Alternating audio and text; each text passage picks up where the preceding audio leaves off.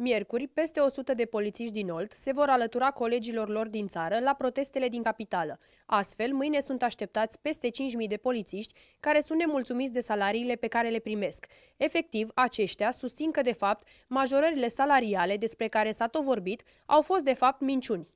Principalele nemulțumiri sunt uh, legate de salarizare, salarizarea polițiștilor din 2018, pentru că Așa cum știm, această trecere de la de, CAS-ului de la angajator la angajat uh, generează, genera înainte de majorarea salarială din octombrie, uh, practic o tăiere ascunsă a salariilor.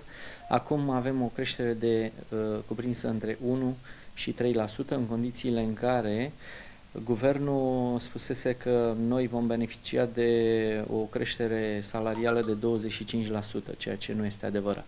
Polițiștii sunt nemulțumiți și din cauza dotărilor. Aceștia s-au săturat să își pună viața în pericol atunci când pleacă în misiune. Se vorbește despre dotarea deficitară a poliției doar atunci când mai moare un agent în misiune. Așa a fost și anul acesta, când ministerul a promis dotarea tuturor polițiștilor cu veste anti-înjunghiere, ca în final să fie achiziționate 8.000 de veste anti-înjunghiere în condițiile în care, pe o tură, sunt în misiune în jur de 12.000 de polițiști. Cu toate acestea, oamenii legii au speranțe mari pentru mâine.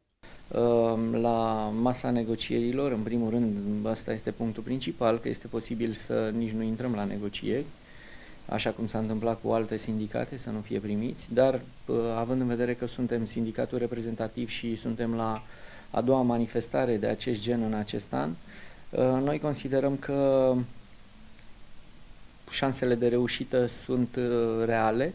Dacă vreți o proporție, undeva aș face o estimare 80% ca uh, punctele noastre de pe lista de revendicări să fie soluționate. În cazul în care mâine aceștia nu vor obține ceea ce își doresc, vor relua protestele în februarie, atunci când se așteaptă ca mai multe federații sindicale să scoată oamenii în stradă. De altfel, atunci sunt așteptate proteste la care să participe atât angajați din sistemul de stat, cât și din mediul privat.